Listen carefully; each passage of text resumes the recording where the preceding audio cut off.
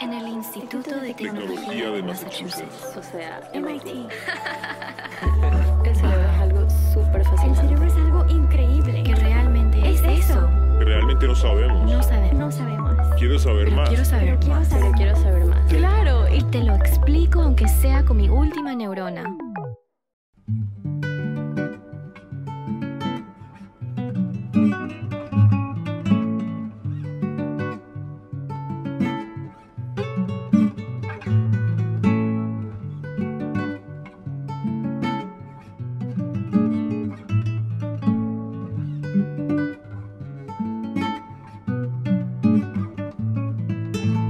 Bienvenidos a otro episodio de Mi Última Neurona. Soy Jessica Chumik Morales, host y productora, y hoy estaré entrevistando al doctor Hernando Santamaría García aquí en Bogotá, Colombia, y él es director del doctorado de neurociencia en la Universidad Javeriana y líder de estudios que investigan los determinantes sociales de la salud cerebral. También es psiquiatra e investigador en el Hospital Universitario San Ignacio. Muy bienvenido, doctor. Muchas gracias por aceptar la invitación. Hola Jessica, muchas gracias. Muy muy contento de compartir este espacio contigo y feliz también de esta iniciativa que promueves de darle voz a la, a la neurociencia latinoamericana. Muchas gracias. Sí, estoy, es un honor hacerlo.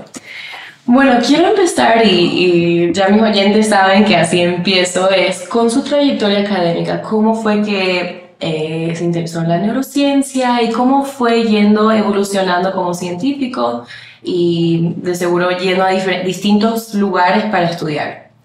Sí, mira, yo pues soy médico. Yo empecé mi carrera de medicina en esta universidad, en la Universidad Javeriana aquí en Bogotá. Y durante mi carrera en medicina tuve mucho interés por eh, la neurología, la neurocirugía. Nosotros en la carrera médica tenemos opción de hacer como rotaciones especiales, como unas temporadas en algunos espacios especiales clínicos. Mis rotaciones especiales fueron en neurocirugía, en neurología. Y, allí ocurrió algo, eh, creo yo, una cosa muy personal, creo que eso ocurre mucho en ciencia, que hay ciertas como motivaciones o- o, sí, como cambios que se dan muy de manera emotiva. En ese proceso yo me di cuenta que si bien me gustaba mucho la neurociencia y la neurología clínica, la neurocirugía, también tenía mucha curiosidad por eh, el mundo social humano, las humanidades, me gustaba leer, me gustaba la literatura eh, y me gustaba como tener un vínculo mucho más cercano con la gente. Eh, y sentía un poco que la neurocirugía era un poco fría de alguna manera, muy, muy importante, por supuesto, como disciplina médica y científica, pero para mi personalidad era un poco fría y decidí cambiarme a psiquiatría y eso fue lo que me definió mi siguiente paso. Empecé a hacer en mi carrera como psiquiatra, hice, es una especialidad médica, terminé psiquiatría, pero eh, la motivación por hacer neurociencia era más fuerte, o sea, a pesar de haberme pasado a psiquiatría, siempre seguí con ese interés por hacer neurociencia. Y tenía, o sea, rotaciones también de investigación durante eh, la carrera de medicina. En medicina en Colombia hay espacios de investigación, son como seminarios, como. Lectures, pero no hay como rotaciones formales, tiempos donde puedas dedicarte 100% de tu tiempo a hacer investigación. Sin embargo, yo tenía una curiosidad por los temas, por, por conocer del cerebro, por conocer del sistema nervioso y de sus interacciones con el mundo, era lo que siempre me había interesado, pero no tenía eh, las herramientas para ser investigador. Eh, cuando terminé mi carrera como psiquiatra, trabajé un tiempo como psiquiatra en un hospital de salud mental, que son hospitales muy fuertes, son como hospicios, parecen en, muchas, en, en gran medida, muchas veces son muy restrictivos, parecen como cárceles. Y yo ahí sentí que, que era algo que no quería vivir del todo así, que quería poder en mi oficio introducir más elementos de investigación, comprender mejor lo cerebral, con una curiosidad también de ayudarle a la gente a que estuviera mejor, ¿no? Y allí eh, tengo la oportunidad de ir a hacer una maestría. Me fui a, a España, hice una maestría y un doctorado en neurociencia y cognición. Estuve en la Universidad Pompeu Fabra, que es una universidad que está en Barcelona, en España, y ahí tuve la suerte pues de empezar mi carrera como investigador. Eh, en esa carrera como investigador eh, tuve la fortuna, por ejemplo, de darme cuenta que la mayoría de personas que investigaban neurociencia no eran médicos. Yo creo que era muy ingenuo. Sentía que los médicos eran quienes, los únicos que estaban interesados por el cerebro. Rápidamente me di cuenta que eso no era así. Yo hice mi doctorado con una filóloga y filósofa, ella fue mi directora de tesis, muy interesada en neurociencias y una de las líderes mundiales en la neurociencia del bilingüismo, ella se llama Nuria Sebastián Galles, y tuve también el acompañamiento como de coasesor de un investigador, él es físico, eh, que hacía neurociencia computacional, él se llama Gustavo Deco y él hace modelos computacionales de enfermedad mental, pero también de otros comportamientos. Esto se me hace muy interesante y siempre lo digo en, mis, en las entrevistas que la neurociencia es un campo que resulta en muchos otros campos como más específicos. Como usted acaba de decir, usted se entrenó como psiquiatra, Después trabajó con su mentora, era un, alguien que le gustaba la filosofía y la psicología. Y después también tenía otra persona que era más bien físico y le gustaba la parte computacional. Y ustedes tres podrían aportar a una investigación juntos y tener un filtro diferente capaz. Claro, esto es muy importante, Jessica. De hecho, nosotros tenemos un doctorado acá en la Universidad Javeriana y en, como en su misión está claramente la intención de que sea un espacio interdisciplinario. Eh, yo aprendí eso allí en Barcelona, que el diálogo entre distintas disciplinas era lo que me permitía llegar a ideas un poco más interesantes y lo que permitía también comprensiones más profundas de cosas que yo, por ejemplo, no sabía. Yo no era muy hábil eh, a nivel de procesamiento computacional, no era muy hábil a nivel de procesamientos estadísticos, pero con ellos aprendí bastante. Lo que yo podía aportar ahí era como más la experiencia de lo clínico. Y, y de hecho toda esa integración, esa información se ve un poco en lo que yo trabajé de tesis. Yo mi directora trabajaba mucho en lenguaje y el codirector trabajaba mucho en modelos computacionales, pero fueron muy abiertos a, a mi interés de trabajar en neurociencia social. Okay. Yo les propuse una tesis eh, sobre procesamientos y correlatos neurales de la experiencia, de las experiencias jerárquicas sociales que ocurre a nivel cerebral y biológico cuando uno asume roles de superioridad o roles de inferioridad. Que, justamente, sí, justamente era una de mis preguntas que leí un paper suyo que creo que era en 2014, que bueno, en inglés dice, if you are good, I get better, y tiene que ver con la jerarquía social y me encantaría si nos cuentas más sobre eso, ¿sí? Sí, digamos que la idea de fondo siempre es una curiosidad social, como te cuento, yo siempre tuve ese interés, siempre me, me llamaba la atención leer sobre eh, digamos, los conflictos sociales de las personas, porque habían personas en pobreza, porque habían personas que tenían más riqueza económica, cómo eso constituía y determinaba la salud, las, las interacciones sociales, la vida política, la vida misma, ¿no? Y yo le propuse esto a ellos, ellos en principio lo tomaron como algo que podía resultar muy loco, no lo veían tan plausible, pero logramos generar un diálogo interesante y, logré convencerlos de que había opciones de medir eso biológicamente, tuve que aprender muchísimo. Eh, no solo ellos me permitieron ese diálogo interdisciplinar, yo hice, estuve muy de cerca con algunos postdocs que eran físicos, filósofos, eh, matemáticos, psicólogos, biólogos, y todo ese diálogo me permitió llevar adelante la idea. La idea que pongo en ese artículo es básicamente una construcción de una jerarquía social artificial, experimental, de laboratorio, donde le hago creer a las personas eh, en una especie de juego que ellos van a interactuar con otras personas con distinto valor social, con distintas, digamos, eh, sí, como distintas habilidades y distinto valor social y lo que hago es poner siempre al participante en una posición intermedia. Hay alguien que está siempre superior a él o a ella en habilidades y también como en prestigio social y alguien que está siempre por debajo, comillas, de esas habilidades y ese prestigio. Que es como la, en la realidad que más Siempre o menos tenemos a alguien encima, alguien digamos que podría tener menos habilidades que uno y prestigio, etcétera. Y lo que hacíamos era generar una jerarquía dinámica donde el participante a veces tenía que asumir un rol de inferioridad en términos de prestigio de habilidades y a veces un rol de superioridad. Y logramos capturar como correlatos neurales con electroencefalografía y con resonancia magnética. Para los que no saben lo que es eso, Son dos instrumentos, dos métodos de la neurociencia propia de humanos. Eh, también se usan en otros modelos animales, pero hay como toda una disciplina de, de estos métodos en humanos que permiten la electroencefalografía permite medir como la dinámica cerebral y tiene una altísima sensibilidad temporal, permite capturar cosas que ocurren a nivel cerebral en momentos muy específicos. Es pero no podemos ver de dónde salen. no es tan buena para ver de dónde salen las actividades cerebrales o los fenómenos, eh, digamos, biológicos que surgen. Para eso la resonancia magnética cerebral es un muy buen complemento que en contraposición a la electroencefalografía tiene una altísima resolución temporal. Nosotros combinamos los métodos para ver un poco en qué momento uno percibía la jerarquía, en qué momento uno sentía el peso de la jerarquía social, cómo eso impactaba en, en- en las tareas que tú estabas haciendo. Y no solo en qué momento y qué procesos estaban allí implicados, sino en qué áreas del cerebro, digamos, estaban relacionadas con, con esa actividad.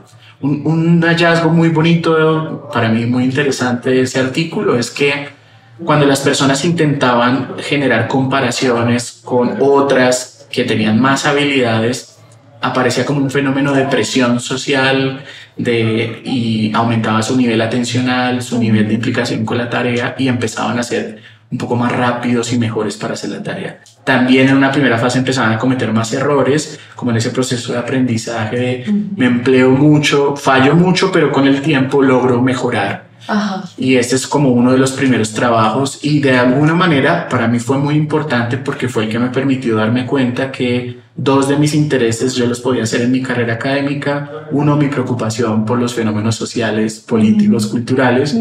Eh, lo combiné pues con esta, estas aproximaciones de la neurociencia y fue como muy importante hacerlo. Claro, eh, o sea, pero a ver si lo estoy entendiendo bien. Había como un driver, por ejemplo, Claro. para mejorar, para no necesariamente llegar a donde estaba el nivel de la otra persona, sino era como un impulso, Un impulso, una motivación. una motivación. ¿Y qué pasaba, qué sucedía cuando interactuaban con esta persona inferior? En general, el comportamiento no cambiaba mucho. eh, digamos que de alguna manera su rendimiento sin la jerarquía era similar a cuando hacían la tarea con alguien que tenía un prestigio inferior.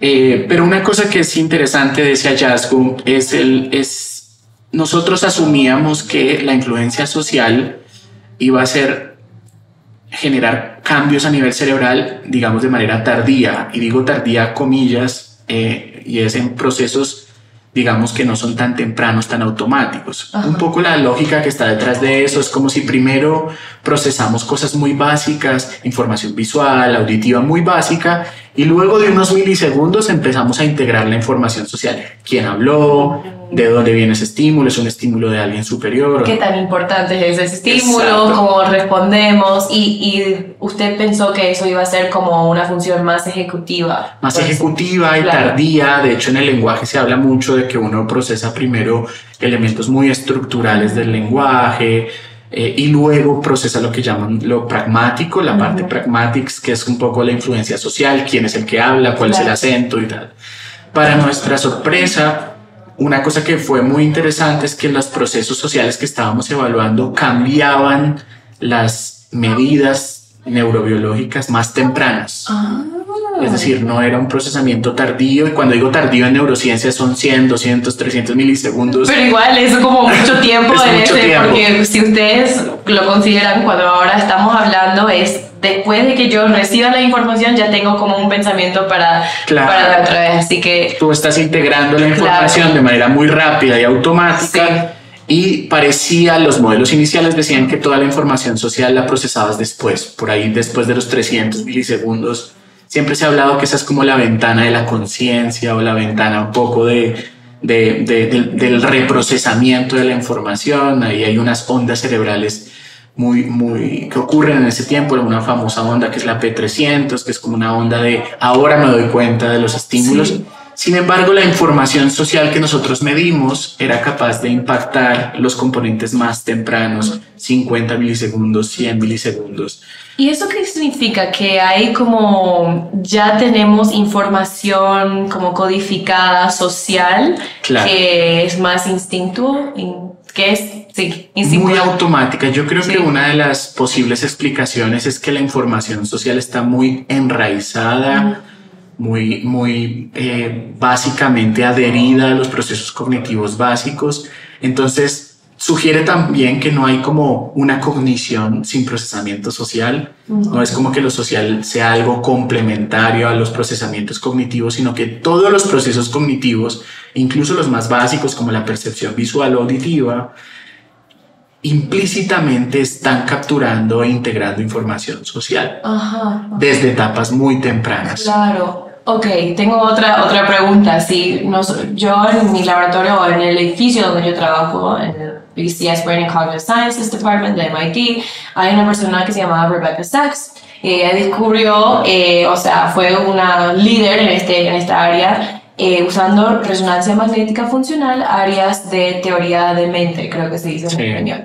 Y quiero saber si ustedes vieron como overlap, o sea, como activación, sí, en esas, esas áreas también. Precisamente conozco a la doctora Sachs y pues es una de las referentes del campo de la neurociencia social, por supuesto, y conozco sus trabajos en juicio moral, neurociencia moral y también en neurociencia asociada a perspective taking o, o toma de perspectiva, theory of mind, teoría de la mente. Y sí, en efecto, las áreas, eh, digamos, sociales que analizamos con la resonancia incluían áreas de lo que se denomina como la Default Mode Network, que son áreas muy relacionadas con el procesamiento social. Eh, esa red predeterminada, digamos, coinciden muchas de esas áreas. Y las áreas propias de toma de perspectiva, incluyendo como esas cortezas prefrontales ventrales, eh, corteza del cíngulo anterior y algunas cortezas temporales, eh, estaban implicadas en ese procesamiento social. La respuesta es sí, había mucho solapamiento, mucho overlap Claro. entre las áreas sociales. Pero eso ya son eh, como más tardías. Mira, mira que no tanto. Eh, las áreas sociales estaban ya activas desde los componentes más tempranos del procesamiento visual. Por ejemplo, un componente que ocurre a los 100 milisegundos, que se asume que siempre es un tiempo en donde uno está procesando la estructura o la forma de un estímulo visual o la estructura o la forma del lenguaje, ¿no? La, cómo se articula una letra con la otra, Sí, digamos, ¿no? sí. Desde ese momento, desde momentos muy básicos del procesamiento, el cerebro ya está en simultáneo procesando información social. Eso era algo de lo que nosotros estábamos trabajando. Y allí. eso, o sea, eso, esa- ese descubrimiento puede decir mucho de cómo evolucionamos como seres humanos y la importancia de tener como, o sea, ser parte de una sociedad y tener estas relaciones sociales para supuesto. sobrevivir, so- para sobrevivir. para sobrevivir. sí. Por supuesto. De hecho, claro, todo eso creo que tiene de fondo una discusión que en neurociencia se ha hecho mucho. Eh, Algunos científicos llaman a algunos procesos cognitivos que son como donde no hay información social o contextual, los llaman los como los procesos fríos, ¿no? Como de cold processes, y, y que sugieren, por ejemplo, que prestar atención, eh, tomar decisiones, percibir estímulos visuales, auditivos o de otras modalidades sensoriales, o tener working memory, como que hay unos procesos que se dan de manera sin contexto y que posteriormente se dan los procesos contextuales, ¿no? Que han llamado también como los hot cognitive processes. Sin embargo, nuestra aproximación al problema mostraba que siempre todos los procesos, incluidos los llamados cognitivos fríos o cold processes, estaban de alguna manera modulados por la influencia social de forma muy temprana. Y si uno lo piensa desde un punto de vista evolutivo, eso tiene sentido. Yo, e- evidentemente, eh, la constitución del cerebro humano, como lo conocemos, con los miles de millones de años que eso implique, siempre ha sido una construcción, una co-constitución de ese cerebro con otros. No ha sido como un cerebro preparado para el mundo en soledad y que luego llegan las interacciones con otras personas que podría generar la, la famosa noción de Dunbar y otros de, del cerebro social. Yo personalmente creo que no hay un cerebro social porque eso sugeriría que hay un cerebro no social. Yo creo que todo el cerebro y todos los procesos biológicos son implícitamente modulados por lo social, es decir, todo el cerebro de alguna manera es afectado, modulado o está integrando información social.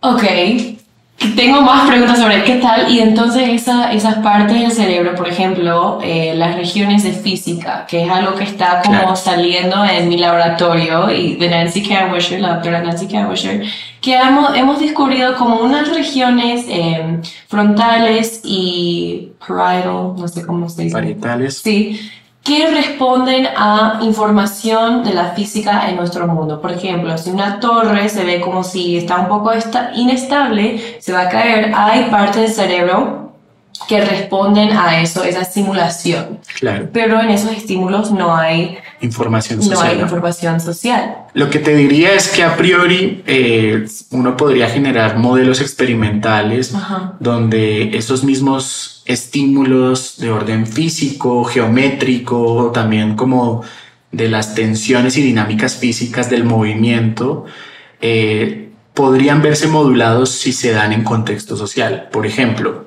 si ese mismo estímulo de la torre eh, por- no es una torre sola, sino que la torre parece impactar a un contexto, por ejemplo. O, o, si, o si uno puede semejar o simular situaciones de tamaño, forma o dinámica de fuerza con agentes que interactúan, seguramente esas áreas que son muy de procesamiento físico eh, o de estas que tú me estás comentando, también se verían impactadas o moduladas tempranamente por, por, por procesos sociales. Yo lo que te diría es, yo no he trabajado en ese tema, pero mi hipótesis sería que incluso áreas de procesamiento muy exclusivo Ajá. eh, también se ven impactadas por procesamiento social. Un ejemplo de eso es, nosotros evaluábamos las habilidades para generar esta jerarquía social que te cuento en una tarea de procesamiento visual muy primario, en una tarea de numerosidad, donde hay más puntos en la pantalla. Y uno diría, bueno, donde hay más puntos en la pantalla no tiene nada que ver con algo social, pero si te informo que estás haciendo la tarea en un contexto social, con una audiencia, el procesamiento de ver los puntos ya está Ya se impactado, vuelve social. ya se vuelve social. Wow. Desde los 100 milisegundos, 50, 100 milisegundos, y se ve incluso, por ejemplo, hacer la tarea, la misma tarea de los puntos activa muy, generalmente áreas occipitales, que son áreas relacionadas con procesamiento visual primario y secundario. Bueno, hay mayor actividad de esas áreas occipitales primarias cuando haces la tarea en un contexto social que cuando no la haces. Es decir, es un poco como si tuvieras optimización de los recursos Claro. cognitivos más básicos cuando se dan en un contexto social. Esto me, me hace muy útil y bueno, disculpe a la audiencia que en medio no metimos en esto, ya volvemos a, a la pregunta original, pero eh, es muy relevante lo que usted me está diciendo a mi investigación actual, que es de causalidad, o sea, razonamiento causal, y es, justamente estamos viendo que si el razonamiento causal físico eh, activa eh, esas regiones que le había mencionado, Claro. de que tiene que ver con con la física del mundo y lo que estamos viendo en, bueno, son datos preliminarios, ¿verdad? No, no hay nada publicado todavía, pero que estas regiones físicos están respondiendo tanto a nuestro estímulo causal de física como los eh, estímulos causal eh, de psicológicos, o sea, eh, causa- eh, relaciones causales que tienen que ver con la sociedad y la percepción entre un humano y otro. Ahí hay una cosa que te quería compartir de eso que creo que puede tener que ver. Eh, eh, experimentos similares, otros que no, no condujimos nosotros, pero del campo, por ejemplo, Caroline Singh y otros que han trabajado en este, en este campo, han mostrado que el procesamiento, darte cuenta de alguien que tiene más jerarquía social que tú, un jefe, por ejemplo, también integra áreas parietales, que son áreas relacionadas con numerosidad, como formas aritméticas, matemáticas, de que algo es más grande que otra cosa. Ah, De alguna manera, tu cerebro procesa a un jefe como algo más grande que otra, otro, digamos, Numéricamente. numéricamente, wow. Y eso... en cantidad, ¿sabes? Claro, claro, pero, o sea, cuando uno lo piensa hablar y pensar bien, eso como tiene sentido, porque de tal manera podemos razonar y crear percepciones del, del mundo. Tenemos que tratar, o sea, integrar muchas funciones básicas para crear este eh, pensamiento más complejo, por Claro. decir, que tiene niveles. Así que eso no me, o sea, me sorprende porque no lo sabía, pero también si lo pienso no me sorprende porque Claro. Eh, si uno entrenaría, y bueno, y ahí viene el- los modelos computacionales Claro. que nosotros ahora es un gran, o sea, estamos en un boom de Sí. ciencia computacional en las neurociencias y en, bueno, en, creo que en cada área, porque Claro. la inteligencia artificial nos ayuda muchísimo. Pero ¿cómo podemos, si entrenaríamos a un modelo computacional para tener el mismo, o sea, estilo de pensamiento que un ser humano? ¿Por dónde empezaríamos? Ahora sí estamos como a nivel muy bajo, como por, por ejemplo entrenándolos con fotos Claro. y para entender el sistema visual mejor, pero me imagino que eventualmente también eh, ese mismo modelo computacional va a tener que decir, ok, es más importante esto, esta relación social o esta y hacer como un cálculo de grande o menos. Mira, yo, yo te diría frente a eso eh, dos nociones en las que yo creo que está amparada la, la neurociencia que yo trato de hacer y mi, y mi laboratorio, de, muy de los enfoques de neurociencia social, que también son muy herederos de estos enfoques eh, de neurociencia computacional liderados como por ejemplo por Carl Princeton y también sobre los que ha aportado mucho Anil Sedev y Lisa Feldman Barrett, que, que de alguna manera ellos han mostrado que el cerebro, un poco estas nociones de la frenología antigua del siglo XIX, que sugerían que actividades cognitivas o comportamentales humanas, incluso creencias, estaban en lugares específicos del cerebro. Ellos critican esa noción como eh, estática del cerebro, un cerebro estático donde solo suceden cosas en ciertos lugares específicos. Evidentemente el cerebro tiene especializaciones, pero ellos muestran cómo eh, algunas funciones complejas hacen uso de distintas partes del cerebro, de distintas activaciones y cambios funcionales en el cerebro para dar respuesta a estímulos complejos. Claro. Como por ejemplo un estímulo visual en contexto social, cultural, que Ajá. donde hay información geométrica o información de mundo físico, pero que también tiene información eh, de orden, por ejemplo, intersubjetivo. Cuando hay estímulos así como es el mundo, el Ujú. mundo tiene esa complejidad todo el tiempo y uno va capturando los estímulos y su contexto, uno tiene que integrar informaciones de muchas áreas del cerebro que empiezan a dialogar activamente para de alguna manera reconstruir los procesos biológicos que nos permiten entender ese estímulo. En resumen, sería como nosotros o la neurociencia que hacemos acepta la, la posibilidad de muchas áreas dialogando y muchas redes dialogando eh, y de alguna manera procesando la información como con muchas habilidades cognitivas específicas al tiempo en simultáneo para entender estímulos complejos. Versus no creemos tanto en esta segunda opción que uno procese unas cosas en un lado y luego la información vaya a otro lado que se procese y vaya a otro lado que se procese porque sería además generaría como un retraso de tiempo, un delay Claro. que nos, nos llevaría digamos a una incomprensión del mundo digamos. Sí, ¿no? sería un poco complejo y también si hay retroalimentación, porque Claro. constantemente estamos como que updating la Claro. información del mundo.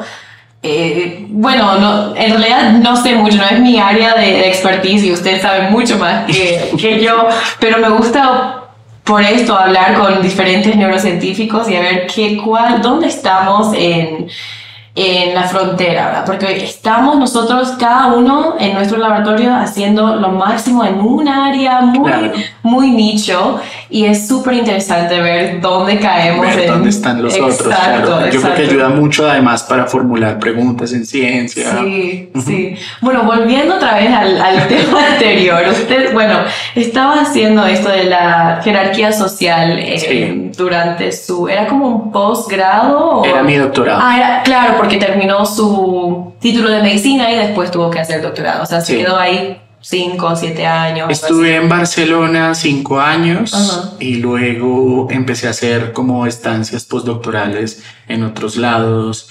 en Europa y luego estuve en, en Argentina también. Trabajé con dos investigadores, creo yo, muy, muy importantes de la neurociencia a nivel latinoamericano. Uno de ellos es Agustín Ibáñez, que es como uno de mis mentores, junto pues con Nuria, con Gustavo Deco. De hecho, le quiero entrevistar a, A- a sí, porque él eh, fue mentorado por Facundo Manes. También. Quien es como una persona que a mí, cuando yo tenía 16 años, mi papá me regaló su libro, que creo que no me acuerdo muy bien el título, pero lo voy a poner ahí en la descripción.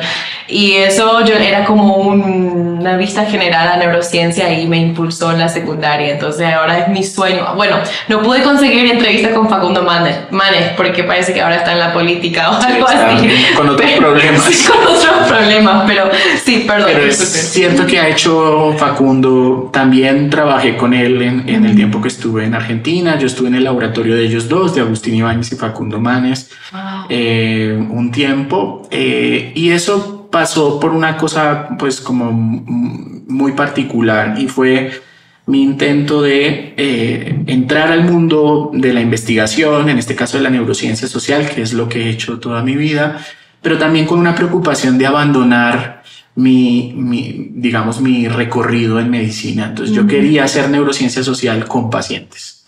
Y fueron ellos los que de alguna manera, creo que además es uno de los grupos, podría decirlo, más importantes no solo de Latinoamérica, sino con impacto a nivel global de trabajo en neurociencia social en trastorno neuropsiquiátrico, en pacientes que tenían eh, esquizofrenia, depresión o condiciones más neurodegenerativas, eh, trastornos como la enfermedad de Alzheimer y otras, ¿no? Sí.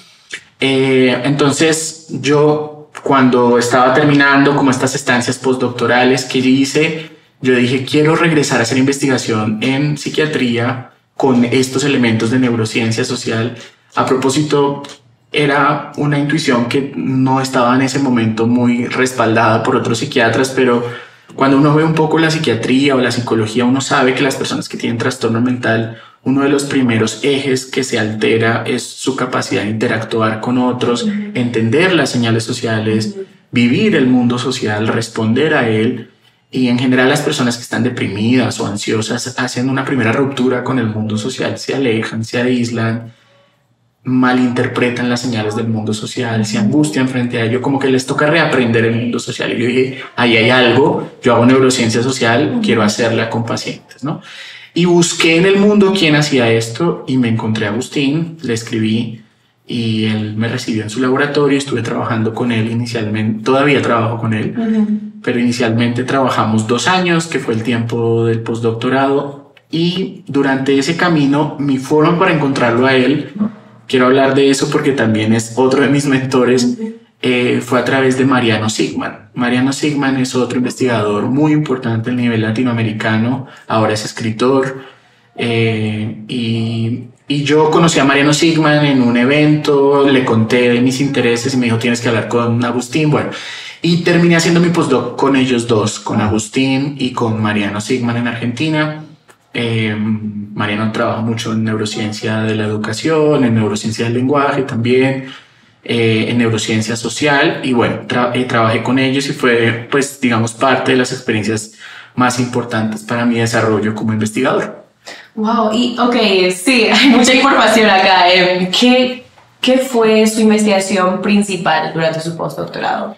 Yo empecé a hacer eh, estudios de cómo los procesos de cognición social, básicamente eh, hay como dentro de la neurociencia de las personas que trabajamos en humanos, también hay de estos temas en personas que hacen neurociencia en modelos animales, pero yo trabajaba en humanos mirando un poco los procesos cerebrales y cognitivos que permiten que uno perciba información social y emocional responda a esa información social y emocional, integre la información contextual de los estímulos. Trabajamos mucho en esto de lo contextual, ¿no? Eh, entonces trabajábamos mucho, por ejemplo, en procesos como una cosa que es bien interesante es que estos procesos de interacción social, uno piensa que están basados como en la capacidad que tiene el humano de reflexionar sobre el otro, pero están más basados en procesos muy primarios de resonar con el otro, de hacer como empatía, resonar motoramente con el otro, Ah. moverme como el otro de manera implícita, no consciente.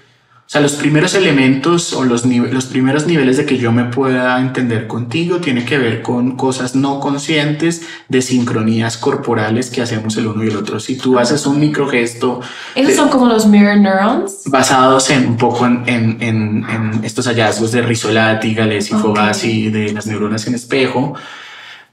Y ahí en ese mismo camino, en ese mismo campo disciplinar, hay muchas otras evidencias que muestran que uno lo primero que hace para entenderse socialmente es un montón de cosas inconscientes motoras, que es como hacer resonancias motoras o operar como en un espejo. Claro. Y hay como unas microsincronías de los microgestos y yo entiendo que tú te vas a reír y entonces yo sin darme cuenta También sonrío un poquito claro. y si estás contando algo que de pronto es más tenso, puedo que yo cambie el gesto, pero todos esos planos de comunicación sean de una manera no verbal y no, re- no reflexionando, sino son muy, Muy automáticos, son sí. como muy pre-reflexivos, digamos. Por eso se nos hace un poco raro si estamos hablando con alguien y tiene como eh, flat affect, que no sé cómo decir muy un afecto muy plano, como Muy que no plano. reacciona a lo que está Claro, es como Uno, ¿qué pasa si allí? estás escuchando No, o- no nos estamos leyendo bien el Claro, uno al otro. exacto. Y capaz cuando uno está enamorado también, ahí Claro. uno se da cuenta que, ay, si la persona está así, yo también estoy así. o algo.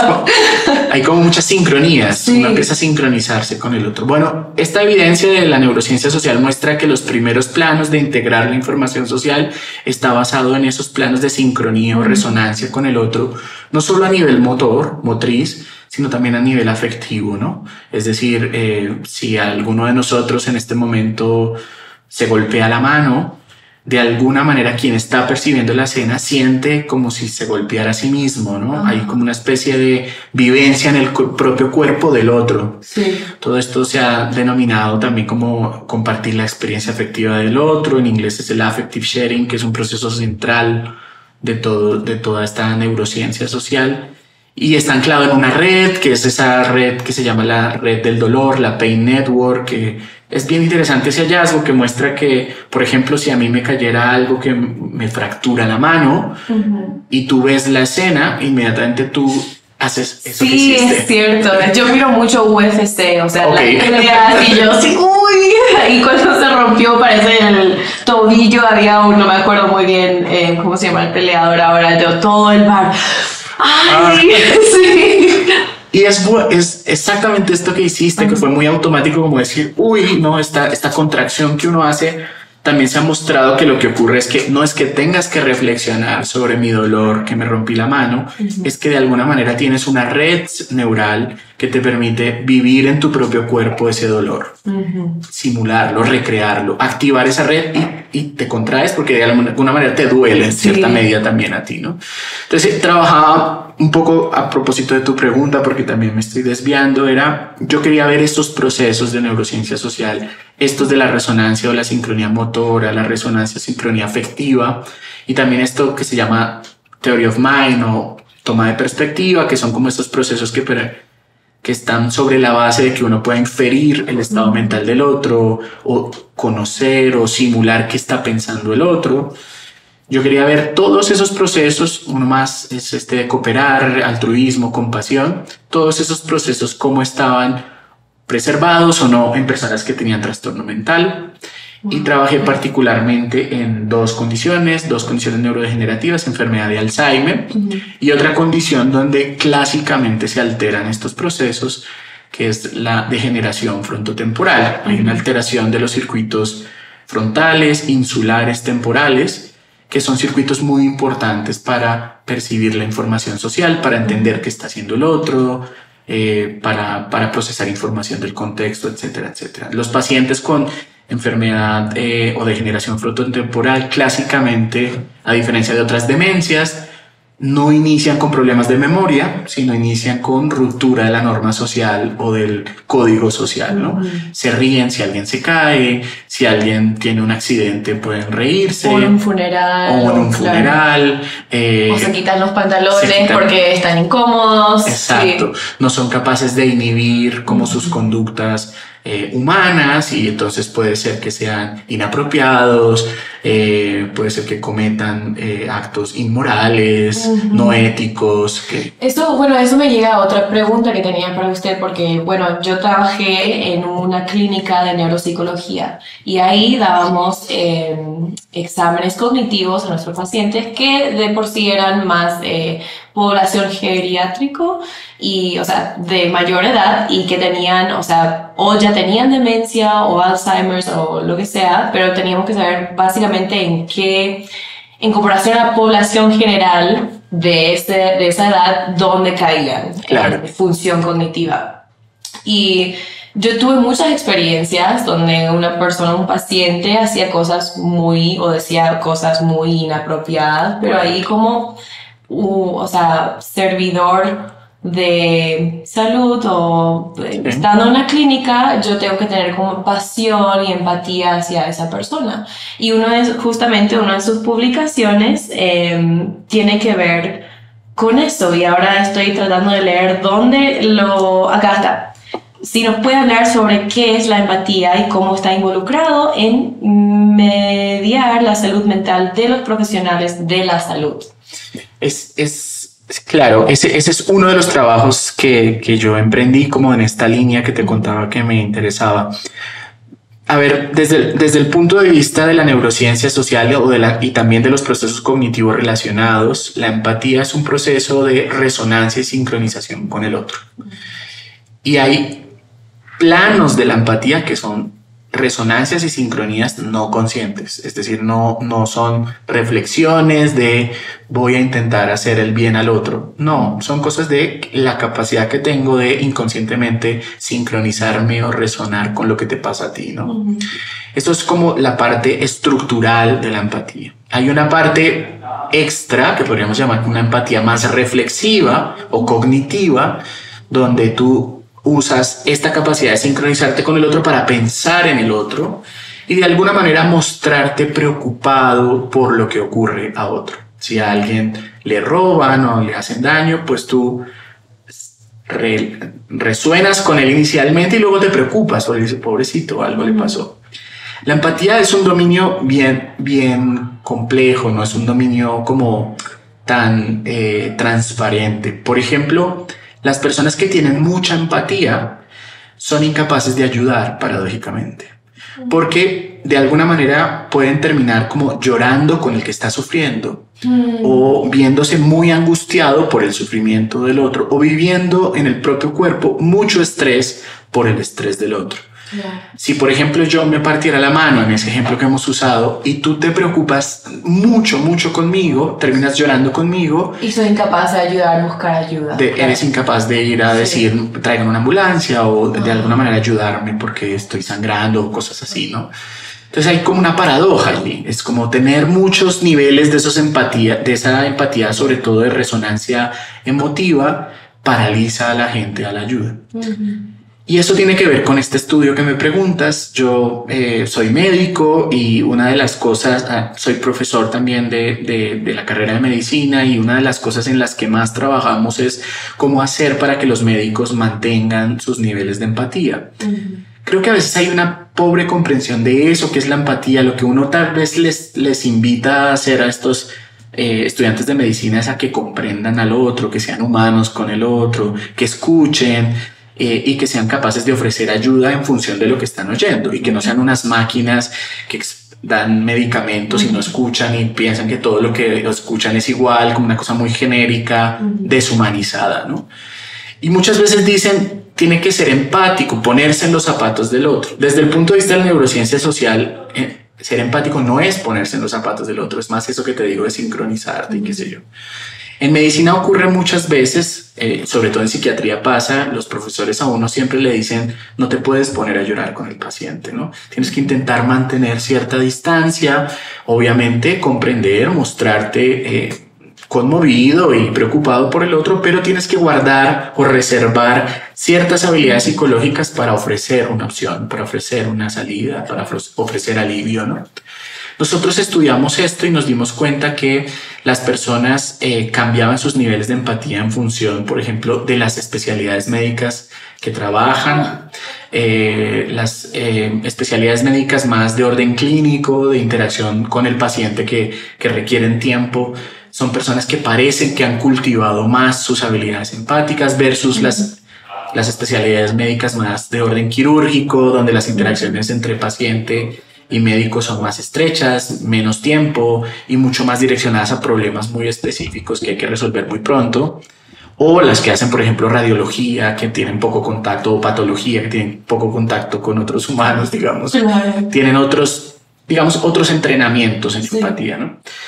Bueno, pero además de eso, de que hay diferencias en los niveles de empatía, los niveles de empatía cambian en función también del tiempo eh, hay como un efecto de, agotamiento. Las personas que están mucho tiempo en contacto con pacientes con altos niveles de sufrimiento, por ejemplo, los que trabajan en urgencias de un hospital, suelen ver afectados sus competencias empáticas. Entonces se, se, muestran menos empáticos o las personas, por ejemplo, que tienen más edad. Pareciera que es como una habilidad que empieza a decaer en el tiempo.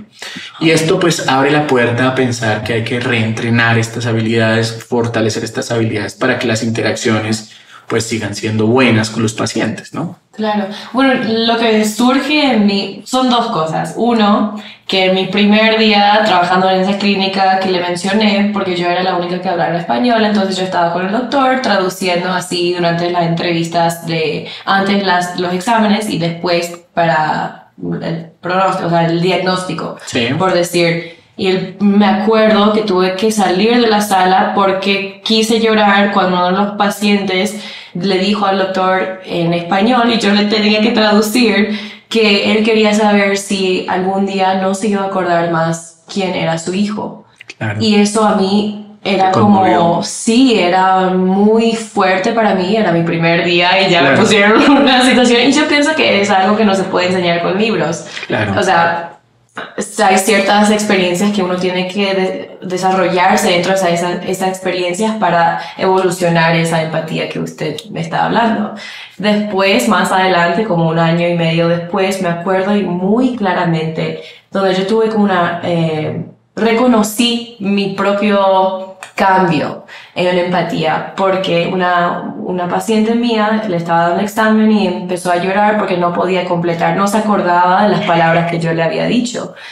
Pero no era que yo ahí me puse a llorar tampoco, me, o sea, me sentí mal, pero simplemente tranquilamente le pasé unos pañuelos le pregunté y estaba con calma si estaba lista para continuar, que esto es importante porque si sabemos dónde ella está, o sea, en su progresión, vamos a poder ayudarla de alguna manera.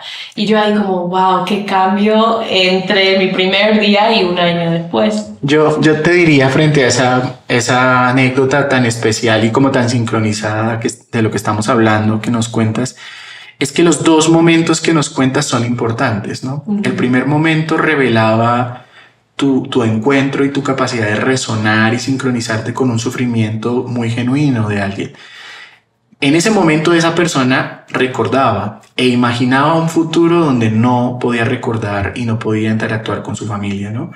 Y tú alcanzaste allí a imaginarte la situación y te conmovió y mostraste como toda tu respuesta afectiva. Y en el segundo momento adquiriste habilidades para ayudar a reconducir también las necesidades de un paciente. Yo creo que en el ejercicio como ese que tú hacías en ese momento, ese ejercicio de ayudar a otras personas, los dos momentos son importantes. Y ahí hay una tensión entre qué tanta eh, carga afectiva pongo y qué tanta capacidad tengo de modular esa carga afectiva para ayudar. Yo creo que los dos escenarios y los dos extremos pueden generar problemas. Si te pones muy operativo, muy de tomador de decisiones, lo que tienes que hacer es esto y esto y esto, puede ser que también eh, pierdas de vista o anules tu capacidad de eh, emocionarte con el otro. Yo creo que el mejor escenario de ayuda es tener en una cierta medida una, una, respuesta emotiva con lo que le pasa al otro, porque de allí surgen genuinamente opciones de ayuda. Claro. Si las anulas del todo con protocolos, con formas de actuar, con tal, Sí. se deshumaniza esa interacción y posiblemente las personas no te consulten más, empiecen a buscar otros eh, itinerarios terapéuticos. O tener, o sea, experiencias malas contigo. O sea, yo sí Claro. en urgencias he eh, experimentado eh, personas que son, hola, ¿cómo te llamas? Sí, sí, Exacto. me miran una vez y ya. Y yo ahí, no sé, sangrando o lo que Claro. sea.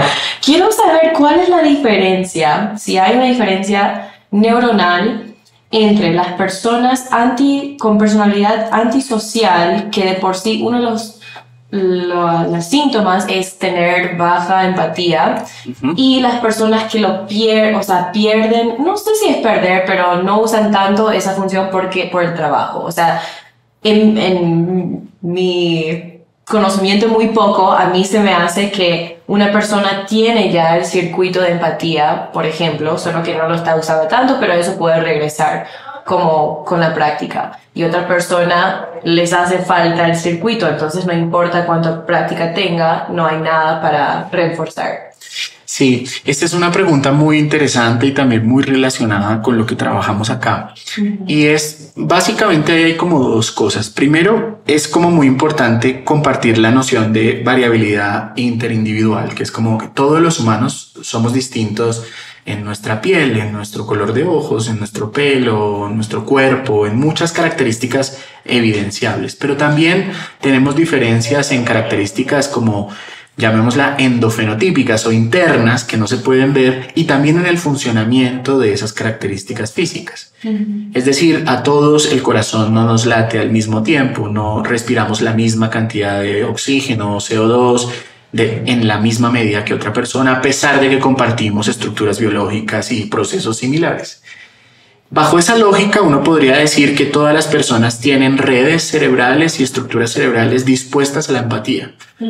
Todos los humanos las tenemos. Pero el grado de cómo esas redes cerebrales actúan o se activan o dialogan unas con otras es distinto entre cada individuo, como somos distintos también en, en, en las formas físicas que estábamos hablando. Y ahí hay espectros. Y en esos espectros hay también extremos. Y en esos extremos hay personas, por ejemplo, que tienen una altísima actividad de las redes de empatía ante cualquier cosa que le ocurre a otro y son personas que, por ejemplo, lloran, se conmueven y que tienen incluso dificultades para lidiar con el mundo social del otro. En un extremo opuesto a ese están las personas que tienen una baja reactividad emotiva, afectiva ante el dolor del otro. Las personas con rasgos de personalidad antisocial o comportamientos de orden antisocial parecen estar en esos en ese espectro en uno de esos polos. Ellos si bien tienen redes para reaccionar afectivamente con el otro, tienen las estructuras cerebrales, tienen los procesos biológicos, el nivel de actividad de esas estructuras de la resonancia afectiva es bajo en comparación con controles, con controles sin esa alteración. Y eso entonces genera una cosa que es interesante y es como hacen parte de un espectro de la normalidad, si estén en uno de los polos más extremos, no tendrían una enfermedad. Ahí está toda esta paradoja muy propia también de cómo se ha enfrentado esto desde el punto de vista de la psiquiatría. La psiquiatría ha hecho mucho esfuerzo para decir son personas que son conscientes de sus decisiones, son personas que de alguna manera son responsables por sus decisiones. Y eso es muy importante porque si estas personas entran en la categoría de enfermedad, de alguna manera eh, podría quedar subordinada a la responsabilidad de cosas que hacen. ¿no? Mm, Que lo vemos ahora en eso, en, o sea, cuando hay crímenes. y- Claro. claro, sí. Hay como un interés, y eso es todo un territorio muy complejo. Yo creo que es como esto de cómo usar hallazgos de la neurobiología en procesos legales para atenuar o mitigar eh, penas o para, bueno, para impactar en procesos legales. Nosotros, los que trabajamos en neurociencia social y, y, yo que también pues trabajo en psiquiatría, consideramos que las personas que están en el polo de lo antisocial eh, hacen parte, digamos, de la, digamos, de un espectro de capacidades de empatizar o responder con el otro, pero en un espectro donde la reactividad emocional es muy baja. Uh -huh. Estas personas por el contrario, tienen una altísima capacidad de teoría de la mente. Son muy buenos en toma de perspectiva. O sea, ellos, ellos saben qué están haciendo. Sí, y Pero- eso por eso Claro. había sido que son muy buenos siendo políticos, Muy buenos engañando. sí, muy buenos porque Muy tienen buenos. que ser, es como, eh, bueno, se me ha, disculpe que le interrumpa, pero una breve cosa que quiero decir es cuando los niños aprenden cómo a mentir, me parece eso un, una situación muy interesante, o sea, un parte del desarrollo muy interesante, porque eso significa que tienen que tener un concepto de la realidad Claro. lo que eh, y también lo que funciona dentro de esa realidad que también otra persona creería. O sea que hay tres componentes ahí. Claro. ¿Cuál es la realidad misma? ¿Cuál es otra cosa que podría, pudiera suceder en esta realidad? Y ¿será que esta persona con quien, a quien le estoy mintiendo se va a creer lo que le estoy diciendo? Claro, hay un procesamiento muy complejo de los Claro. niños para construir la mentira como parte de sus narrativas. Y eso me hace acordar a esto. es Y como- tiene, y ese proceso, muy, muy buen ejemplo el que das, es un proceso muy dependiente de esa capacidad de imaginar y saber qué está pensando el otro, que es este proceso de toma de perspectiva, un proceso que los niños suelen tener ya completo desde los cuatro años, pero que tienen equivalentes de eso desde los primeros meses de vida, digamos, ¿no? Eh, entonces, en esa línea uno podría decir que esa toma de perspectiva está muy bien en estas personas, saben exactamente el impacto de sus acciones, pero tienen como una reactividad emotiva más baja, más baja. Luego no se ven tan afectados emotivamente. La- Las respuestas afectivas son respuestas muy intensas, ¿no? Cuando uno ve a alguien llorar y uno le dan ganas de llorar, uno se le paraliza a uno el mundo, uno es incapaz de seguir leyendo o seguir haciendo lo que está haciendo porque la respuesta afectiva de alguna manera te secuestra y tienes que llorar o gritar o pelear. Piensa en momentos en que has estado enojada por algo y quieres intentar leer. Posiblemente no lo logres en ese segundo, necesitas tiempo porque todo tu cuerpo y tu mente está secuestrado, capturado por la descarga afectiva. Bueno, esa descarga afectiva es la que nos permite entender que otro sufrió y uno la activa automáticamente cuando el otro está sufriendo, le está doliendo algo físico, pero si la tienes adormilada, pues puedes generar otro tipo de acciones. Y eso es un poco lo que ocurre con las personas que tienen esta personalidad de alguna manera antisocial. Yo diría que estas personas están en el extremo, en un extremo que roza las, las acciones inmorales, las acciones poco éticas y que roza un poco y muchas veces llegan a acciones que son decididamente eh, malas contra otros, ¿no? Eh, versus personas, por ejemplo, que tienen trastornos mentales que pueden llegar a acciones antisociales, pero que el mecanismo es distinto. Claro, No esa comorbidad. Claro. comorbidad, no sé cómo Com- se llama. comorbilidades, Sí, sí, sí.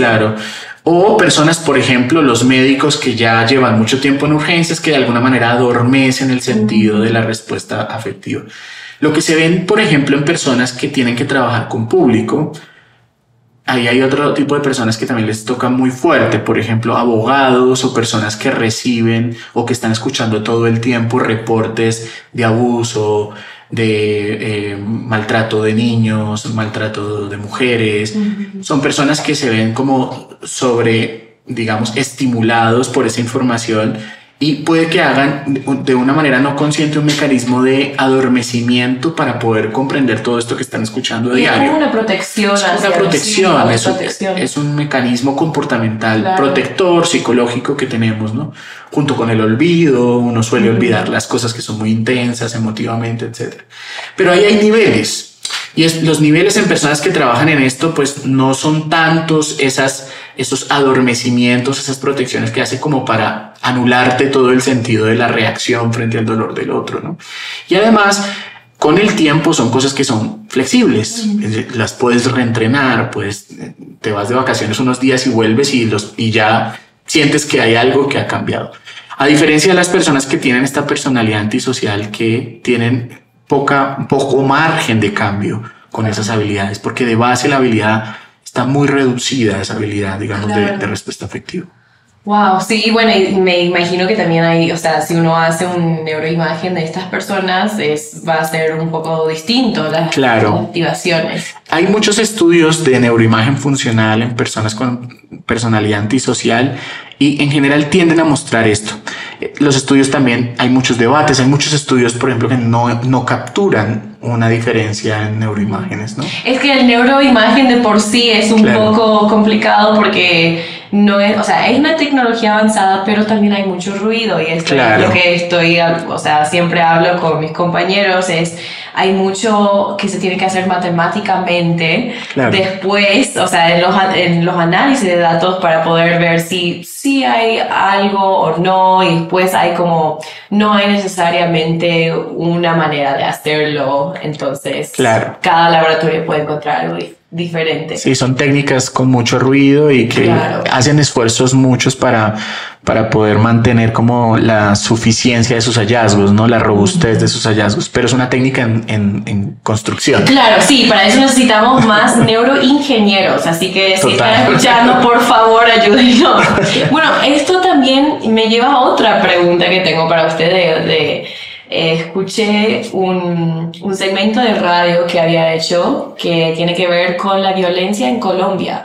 Y creo que eso tiene que ver un poco con lo que estábamos hablando de la personalidad antisocial, porque eso capaz uno pueda decir, ok, si uno tiene esta enfermedad o este, muy bajo los niveles de empatía hacia otros seres humanos, capaz sea más fácil eh, ser violento. No sé si eso es un mito o algo, eh, o sea, que nos demuestra la neurociencia, pero tiene que ver, creo, con, eh, con esta próxima pregunta. Así que quiero saber más sobre ese estudio que hicieron, que, que encontraron. Claro, no- nosotros, como te conté, pues mi recorrido ha sido mucho en neurociencia social por un interés y una fascinación también por los problemas sociales humanos y siendo colombiano, pues uno que es eh, inherente a nuestra forma de vida es el conflicto armado colombiano, un conflicto de más de siete décadas, con unas cifras espeluznantes en términos de muertos, desaparecidos, desplazamientos, migraciones forzadas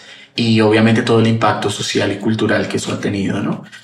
Eh, entonces, uno de los de las líneas de investigación en las que más trabajamos es ver en qué medida no solo los que han sido combatientes o digamos que han estado en ese rol, sino también las víctimas eh, y el contexto social, cómo sus procesos psicológicos y cognitivos cambian en, eh, en función particularmente de sus habilidades para la interacción social, eh, para la empatía, etcétera, etcétera. Entonces, ahí hay unos estudios que nuestro grupo ha liderado mostrando, por ejemplo, que eh, hay cambios en los niveles empáticos en personas que han ejercido el rol, por ejemplo, de combatientes, ¿no?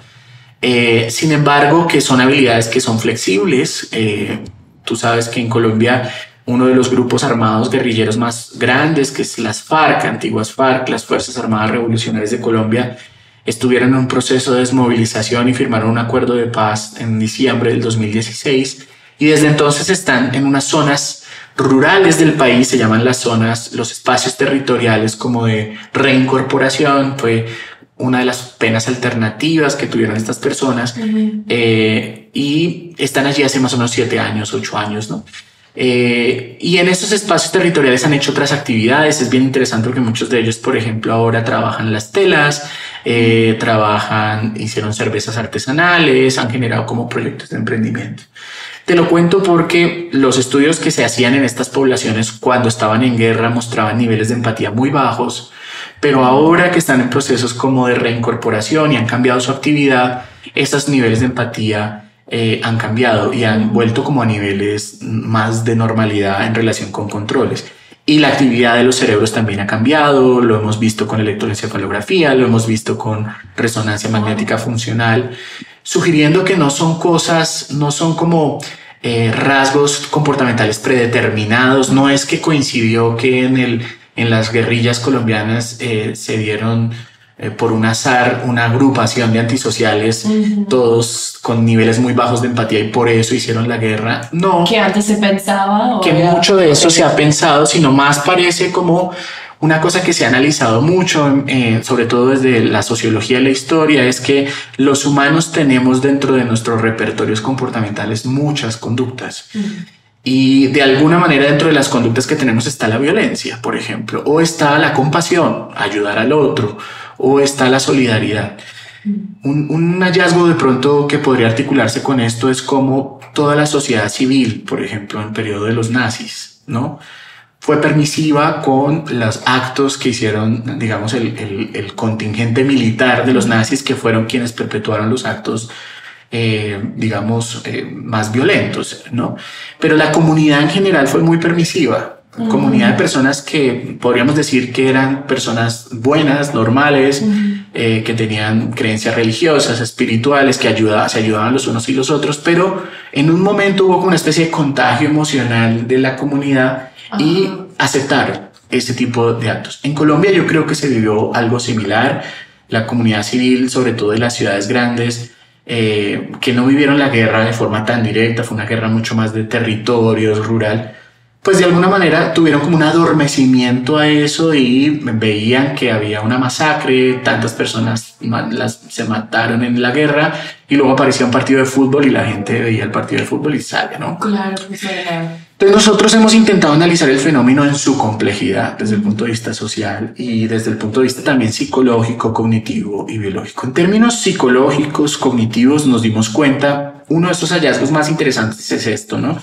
Los niveles de empatía eh, en etapas muy de violencia fueron muy bajos, pero cambiaron una vez con estos procesos de reincorporación, ¿no? Dentro de Colombia hubo muchos grupos armados, grupos eh, muy cercanos a, al Estado, eh, a, las, a los militares, a las fuerzas militares, y otros grupos más de izquierda, revolucionarios y tal. Eh, nosotros uno de los estudios que hicimos fue ver, por ejemplo, cómo eran los niveles de violencia entre las personas que más violencia habían ejecutado entre grupos de izquierda y de derecha. Nos dimos cuenta que los procesos psicológicos y cognitivos eran muy parecidos independientemente del grupo armado, si eran de izquierda o de derecha. Era como, como que esta conducta de violencia eh, se impone independientemente de si eres de izquierda o de derecha, ¿no? Uno tendría que pensar la violencia también como uno de los repertorios de supervivencia de los humanos. A veces hay que ser violento, comillas, para eh, luchar por la supervivencia y tal. Hay situaciones que de alguna manera podrían terminar en actos violentos que no debe significar que esa persona es violenta o es antisocial o está destinada a siempre cometer violencia. De hecho, una misma persona ante un evento, por ejemplo, un robo puede ser violento y entre el mismo evento después puede estar paralizado. Hace parte de esos repertorios de respuesta famosos como la parálisis, la huida o el combate, ¿no? El freeze, fight, flight, ¿no? Que, que es parte de las respuestas comportamentales que tenemos a los eventos estresantes. Bien, aquí en Colombia, por razones políticas, sociales, culturales, un grupo de personas creyó que había que ejecutar violencias para persuadir social y políticamente a la sociedad. Y muchos de ellos cometían esas violencias como parte como de una burocracia de la guerra. Casi que muchas veces las violencias las cometían sin tener esa, esa conducta de huida ante el estrés, ¿sí? Sino era muy, tienes que eh, prender fuego a tal eh, estación de policía porque es parte de tus actividades del día de hoy. Y burocráticamente iban y prendían fuego y, y, no había toda la respuesta de Emocional, emotiva, comportamental propia de la violencia. Esto eso fue parte de las cosas que analizamos. Este estudio en particular que, que dio cuenta del, del programa de radio que tú me comentas, eh, fue un estudio, nosotros tuvimos opción de acceder a los reportes médicos y sociales de 26 mil excombatientes colombianos. Eso es más del 90% de los excombatientes que había en Colombia entre el año 2002 y el 2012. Wow. Eh, todas las personas que entraron a procesos de reincorporación civil, o reintegración con la comunidad tenían que pasar por unos cuestionarios psicológicos, cognitivos y de, y de información social. Qué bueno que pensaron hacer eso. Claro, sí. esto de hecho hay que hacer un reconocimiento a una de las agencias estatales que lo lideró, que es la Agencia de la Reincorporación y la Normalización. Y toda esa información estaba allí en sus archivos y lo que nosotros hicimos fue pedir esta información y implementar modelos de inteligencia artificial, machine learning, deep learning, para ver los mayores predictores entre toda esa información de las conductas violentas. ¿no? Entonces, nuestra pregunta era, ¿qué de todos estos factores psicológicos, cognitivos, sociales, estaban más relacionados con los crímenes confesados de estas personas? ¿no? Entonces empleamos estos algoritmos y, y empezamos a ver un poco, teníamos hipótesis distintas, ahí detrás de esto hay un problema filosófico interesante, que es las nociones muy de Juan Jacobo Rousseau, ¿no? Y, y digamos que sugiere que las violencias eh, de alguna manera son eh, violencias herederas del conflicto social, ¿no? O sea, que como si los humanos eh, estamos en la vida haciendo acciones buenas y el mundo social de alguna manera nos, nos, cambia, nos modifica y, y, nos lleva un poco a las acciones violentas. Y la otra apuesta que es muy la apuesta de el hombre es un lobo para el hombre, estamos ah. determinados a la violencia. Yo, Como ese libro Lord of the Flies, que Lord of the Flies, sí, no sé cómo decirlo en español, pero lo voy a mencionar en la descripción, que básicamente son unos niños que llegan a una isla y se convierten en personas que son capaces de matar a otra persona. Claro. Y de hecho, ahí sobre la violencia ha habido muchos debates en ese sentido y hay posiciones que dicen que los humanos somos de base violentos. Eh, con esa hipótesis nosotros nos enfrentamos a esa cantidad de datos, eran más de 300 variables por cada persona y 26, 29 mil sujetos. Eh, y lo que hicimos fue meter esto en estos algoritmos de inteligencia artificial. Nuestra hipótesis era si salen muchos más factores psicológicos, o cognitivos, sugeriría pues que la violencia tiene mucho más que ver con predisposiciones de ese sentido, cognitivas, psicológicas a la violencia.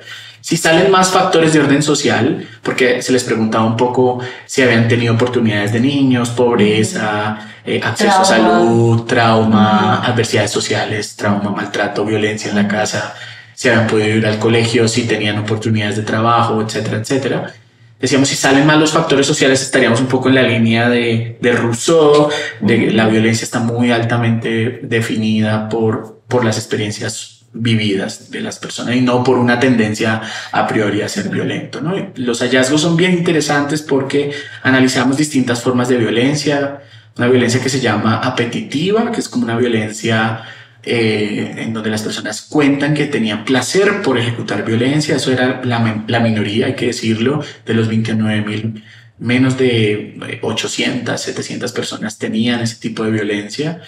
Y otras violencias más reactivas, más de respuesta y unas violencias más de orden político, muy de el fin justifica los medios, ¿no? Me tocaba hacerlo, me tocó ser violento porque era parte de mi proyecto en, la, en el grupo armado, ¿no?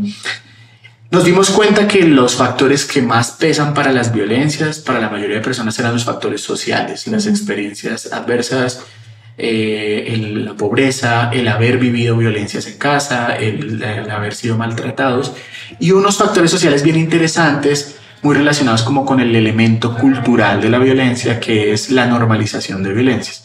Había un conjunto de preguntas que abordaban sobre todo cómo las personas se han relacionado a las violencias en su comunidad.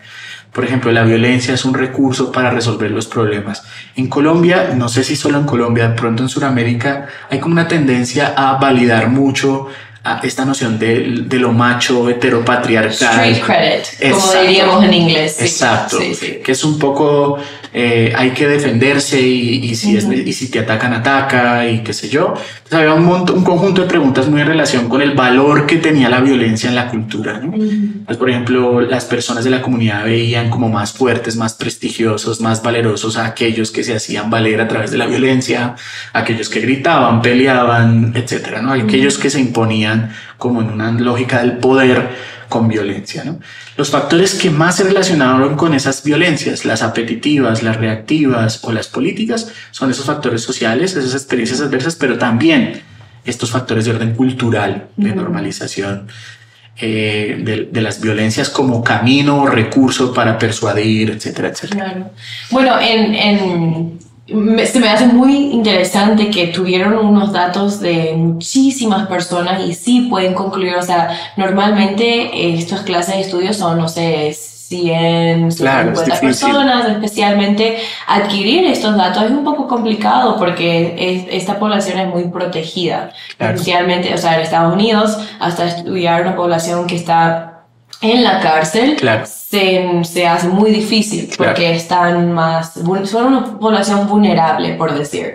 Eh, quiero saber cómo hicieron, me habló de, de este estudio, pero antes de eso también había otro estudio que tenía que ver con eh, la cognición de estas personas que eran parte de estos grupos. Claro. ¿Cómo fue que ustedes pudieron hablar con ellos, reclutarles para los estudios?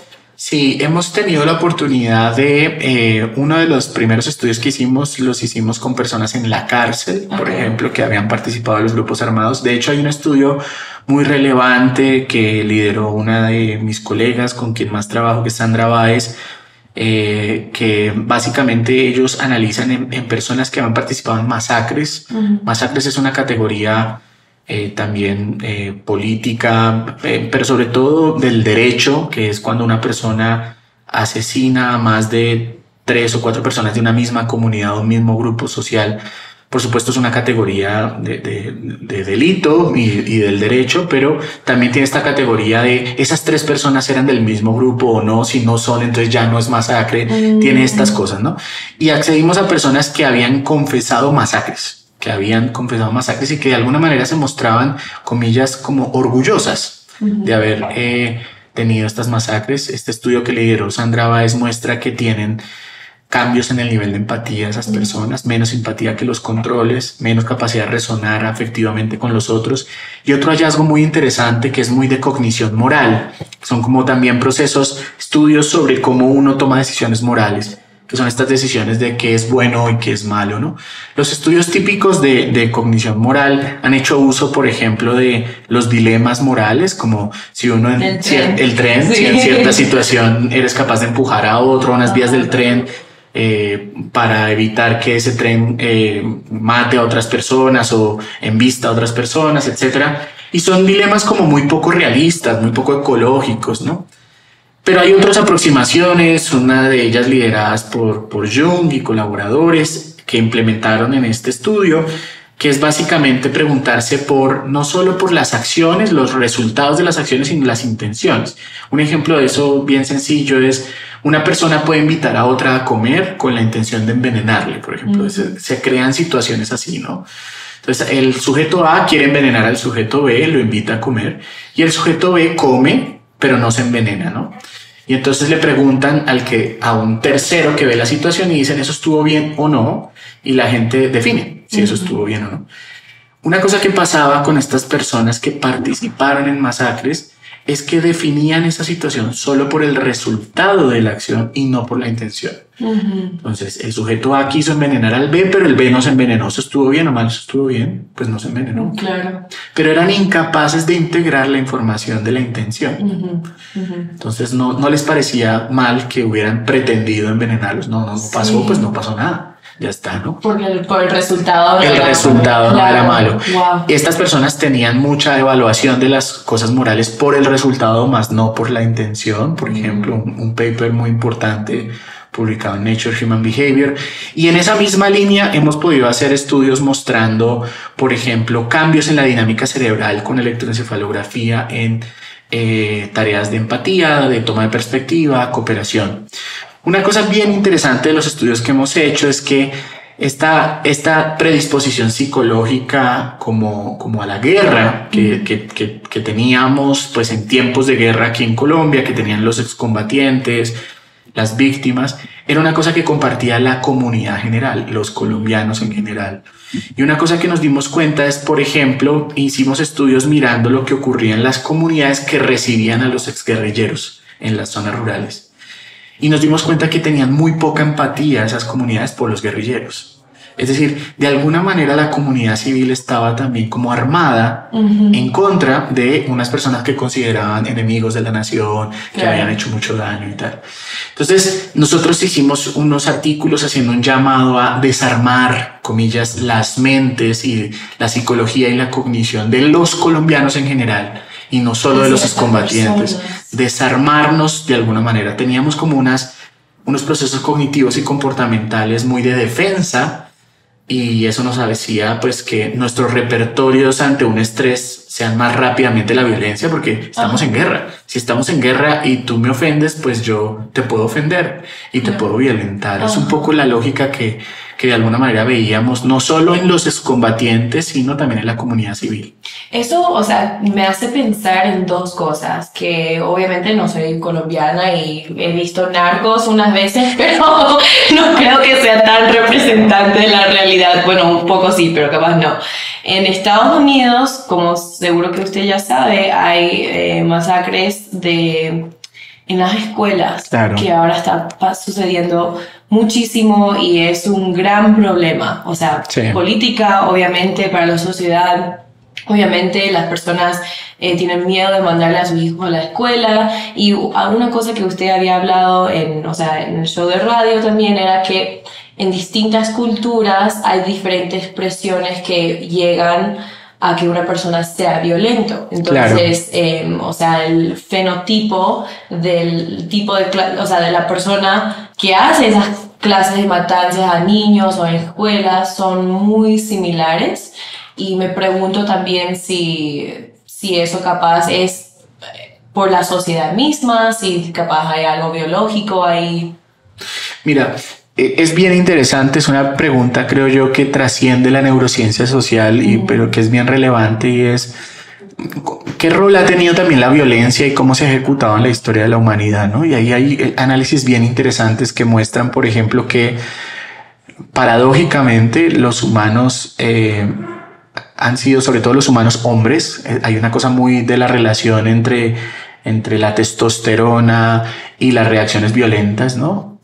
Hombres jóvenes son quienes clásicamente ejecutan violencias, pero la proporción de gente que moría, por ejemplo, en el siglo II o en el siglo XI, en comparación ahora por actos violentos, ahora es un periodo de muy poca violencia, con- más o menos, ¿no? Digamos que ha habido un recorrido de una, altísimos niveles de violencia, edad media, y una reducción básicamente desde el siglo XVIII hacia acá, hasta los niveles más bajos de violencia que estamos experimentando.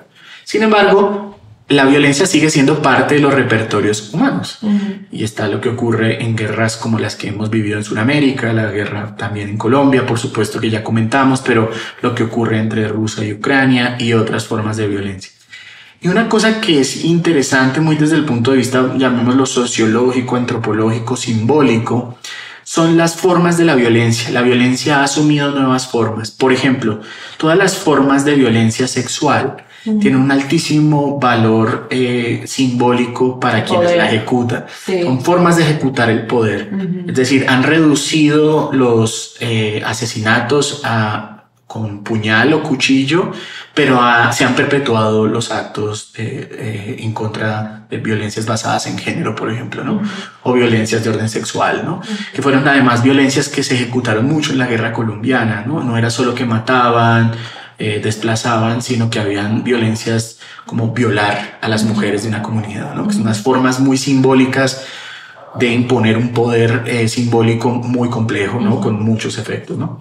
Y en esas formas muy particulares, antropológicas, simbólicas de vivir la violencia, aparecen violencias específicas, ¿no?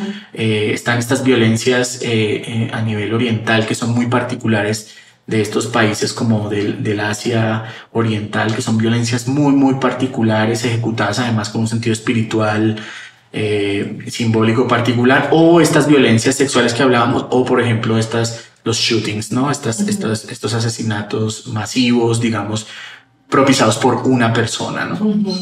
Eh, entonces, primer, lo que quería decir es que hay un, un- un espectro eh, sociológico allí detrás, ¿no? De- del valor simbólico que tiene la violencia. Pero por otro lado, no son todos los humanos eh, los que las ejecutan, hay unas personas. ¿Quiénes son esas personas? Claro. Eh, la tipificación de esas personas o el estudio de esas personas sugiere que son personas que han, por supuesto, vivido violencias, es decir, que han tenido marginalidad y que han vivido violencias. Eso es uno de los factores de riesgo más altos. Dos, que han estado muy en relación con estas culturas de violencia. El hecho, por ejemplo, que existan personas que están armadas o que dentro de su contexto el estar armados es, es un factor de prestigio, es un factor social de, de poder o, de, o que tiene una representación, un simbolismo particular para un grupo, el que tiene las armas tiene el poder, este tipo de cosas, pues eso también conduce a que sea más fácil eh, activar un arma en contra de otros, ¿no? Pero también los factores asociados a violencias no son solo esos, hay como una mezcla de múltiples factores. Las personas que ejecutan asesinatos masivos. Se ha visto que muchas de ellas, porque muchas no se han podido estudiar, es difícil estudiar estas poblaciones, pero muchas de ellas tienen, por ejemplo, niveles de empatía reducidos, eh, tienen, por ejemplo, altos niveles de narcisismo, que es una cosa bien interesante, que es como asumen que están haciendo un acto que nadie más en el mundo podría hacer y que de alguna manera están haciendo ellos, que ellos tienen, ellos son los que tienen que hacer esto. una cosa como un complejo de héroe, un, montón de rasgos de orden narcisístico eh, que son muy complicados. Hay una relación muy estrecha entre narcisismo, rasgos narcisistas y incapacidad también de ver el sufrimiento del otro o niveles bajos de empatía, pero también una tendencia muy, muy grande a a actuar el malestar. Es decir, todos tenemos vivencias de rabia, por ejemplo, tristeza y tal, y muchos tenemos formas de vivirlo como más pasivas, nos, tiramos en un bosque, nos vamos un poquito a la playa, caminamos, corremos o qué sé yo, pero hay personas que ante esos sucesos estresantes o ese, esa presión que a veces viven, tienen como una menor posibilidad de regular el comportamiento y tienen como una mayor reactividad emocional eh, y, e impulsividad. ¿no? Eh, entonces el cóctel de impulsividad, baja regulación emocional, bajos niveles empáticos, altos niveles de narcisismo, un contexto sociocultural que eh, reconoce y simbólicamente da más poder a aquellas personas que se hacen escuchar, violentan y tal, pues todo este cóctel pues genera estas formas de la violencia. Claro, no podemos decir si es una cosa o la otra. Yo creo que no se puede, yo creo que no se puede, mucho menos con estos casos que tú me cuentas de los shootings en Estados Unidos porque son generalmente perpetuados por una persona. Claro, y por eso se me hace un poco... Los famosos lobos solitarios, perdón que te Sí, no, no, está bien, sí, y por esa manera yo siempre pienso que tenemos, o sea, redes, o sea, parte de nuestro cerebro que inhiben cosas, no sé, capaz todos hemos, hemos tenido rabia así muy fuerte, pero o respiramos, o como dijiste, caminamos por la playa y es como que cuáles son los factores que llegan a alguien que mate a otra persona, que no se sienta mal, que no sé, como usted dijo, tenga bajas eh, niveles de empatía, pero también eh, el entorno socioeconómico y la cultura misma que deja, por ejemplo, que eso suceda, como el acceso fácil a un arma. Por ejemplo. Y son como, bueno, un cóctel venenoso. Sí, para la sociedad. Y otro factor que es muy fuerte que hemos visto es este factor de la deshumanización. Sí. Y es, es muy difícil que un humano ataque eh, mortalmente a otro si lo considera de su grupo, mm. si lo considera parte de su comunidad, si lo considera un humano. Mm. Pero uno de los actos psicológicos que suelen hacer las personas que ejecutan eh, violencias contra otros es que deshumanizan al otro. Mm. Los humanos tenemos niveles en eso, todos tenemos un nivel de humanización o deshumanización y todos de alguna manera a veces terminamos deshumanizando pero las personas que más deshumanizan tienen mayor posibilidad de atacar a alguien que han deshumanizado de, de, una manera más sencilla. Acá en Colombia hemos hecho otros estudios mostrando la relación que hay entre eh, como actitudes hacia la violencia y deshumanización.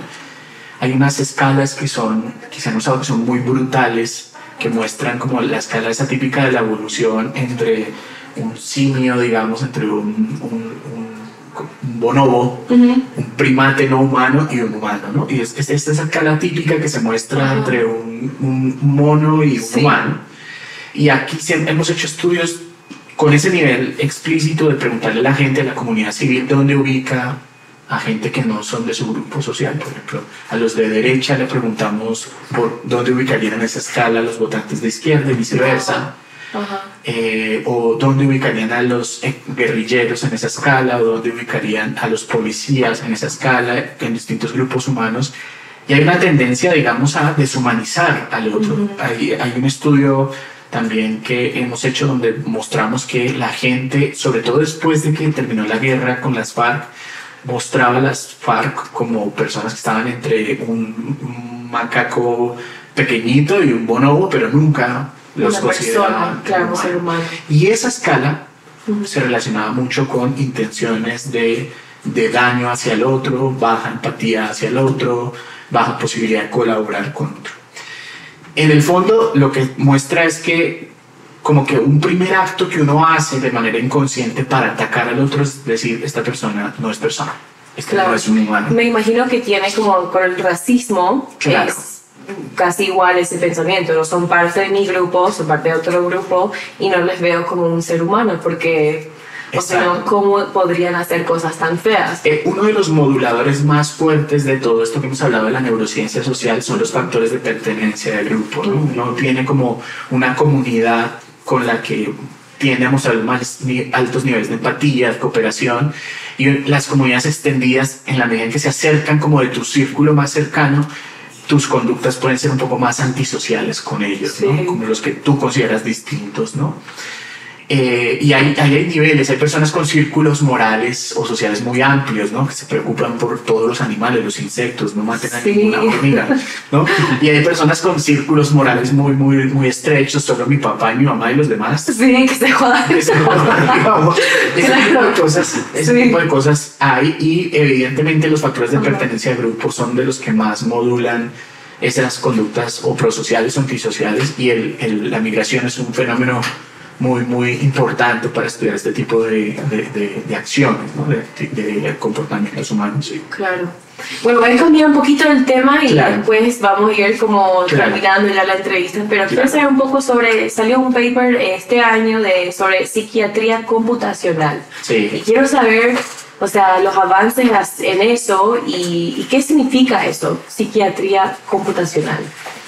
Bueno, sí, mira, nu- nuestro grupo aparte de preocuparse mucho por esto de la neurociencia social y cómo, y cómo los procesos psicológicos, cognitivos eh, responden a influencias sociales complejas como la violencia y tal, nuestro grupo también trabaja mucho con trastorno mental, con personas que tienen formas del sufrimiento humano, depresión, ansiedad y otras formas del espectro del sufrimiento humano.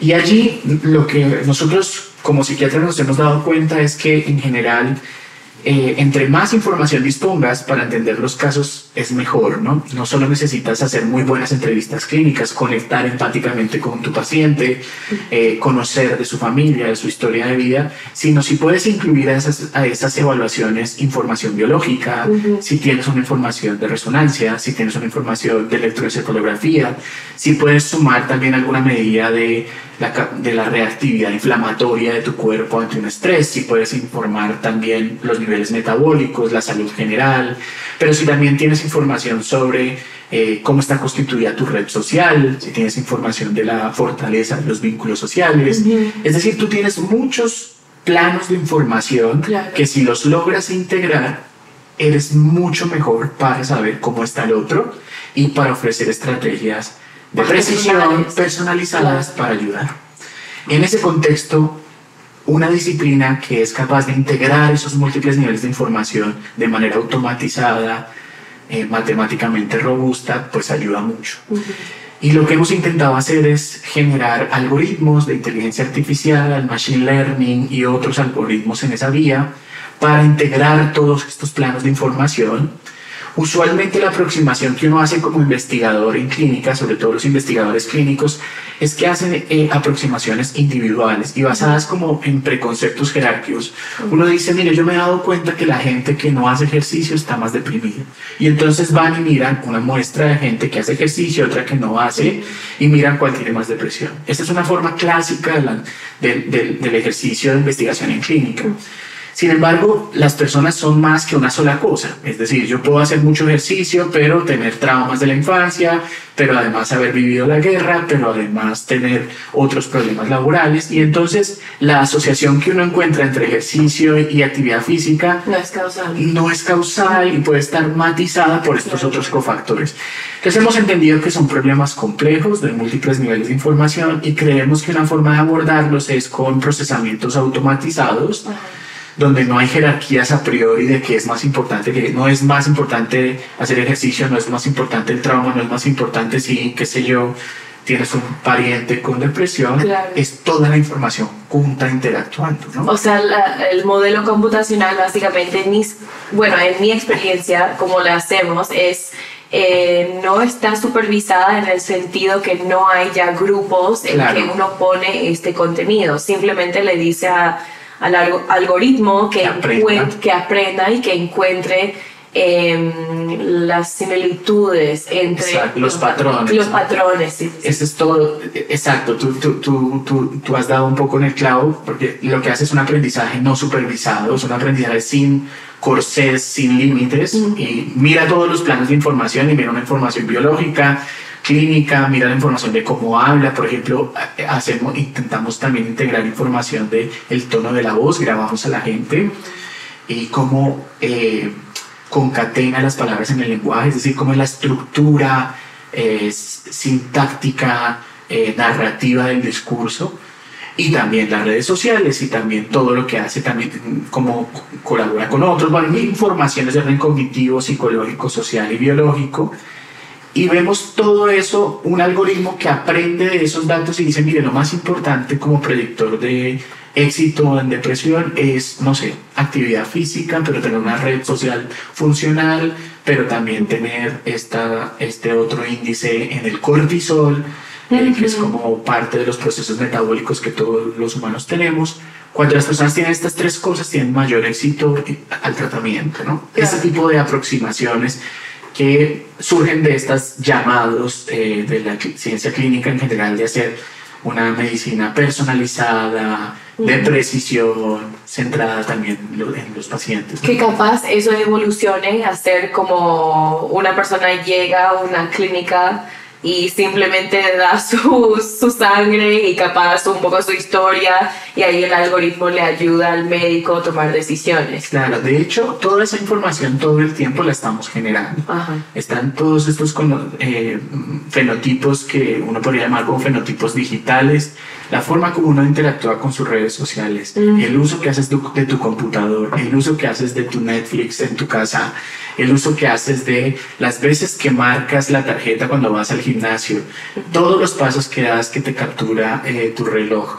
Hay un montón de información que uno no está siendo muy consciente de que está registrando y que continuamente la está registrando un montón de equipos. Y hay un montón de algoritmos actuales que intentan integrar toda esta información como de fenotipos digitales que son muy predictores de desenlaces clínicos. Hay un estudio de estos que me parece interesante, que es muy inspirador para nosotros de eh, uno de los mayores predictores de intentos y, eh, y actos suicidas en, en Japón era eh, la disminución de los pasos con el reloj, el número más bajo de pasos al día. Se dieron cuenta que era, claro, porque sugería inactividad, sugería Sí, que sí, las sí. personas seguramente tenían menos motivación para el movimiento. Y también el pobre contacto social medido por redes como WhatsApp o Facebook o Claro. Twitter o Instagram. La gente deja, cambia el patrón. La gente tiene una forma de ser allí. Eso es como, como toda la gente tiene los ojos de un color, el pelo de una forma y tal. También tiene una forma muy muy consistente de comportarse en- en- en- con la tecnología. Es como, bueno, se me hace como un double-edged sword esto, porque por un lado, qué increíble, ¿verdad? Y capaz podamos eh, ayudar a muchas personas con esta tecnología. Por otro lado, Los riesgos éticos. sí, o sea, me parece un poco invasivo de tal manera, ¿y qué tal si alguien no quiere que se le ayude? Claro. O algo así, es como...